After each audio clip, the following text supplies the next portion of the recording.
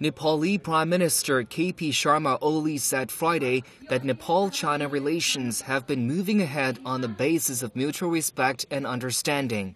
Oli made the remarks at the launch ceremony of a book entitled 60 Years of Dynamic Partnership. Written by former Nepali diplomat Hiranya Lal Shrestha, the book documents all major developments in Nepal China relations since the two countries established diplomatic relations in 1955.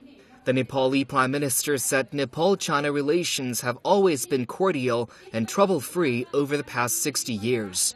Recalling his visit to China in March this year, Oli said his visit has lifted the bilateral relationship to a new height.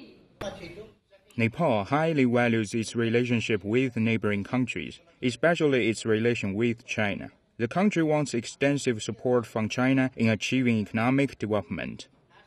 Chinese ambassador to Nepal Wu Chuntai said China and Nepal relations have always remained cordial and friendly.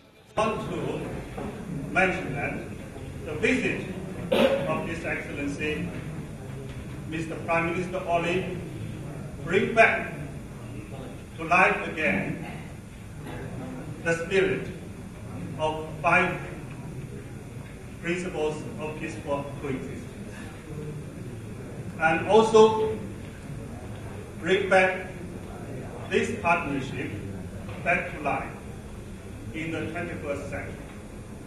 And this visit is very important itself and also lay a very solid foundation for our, for our relations in the years to come. And I think this visit is very much conducive to the regional stability and the peace in this part of the world.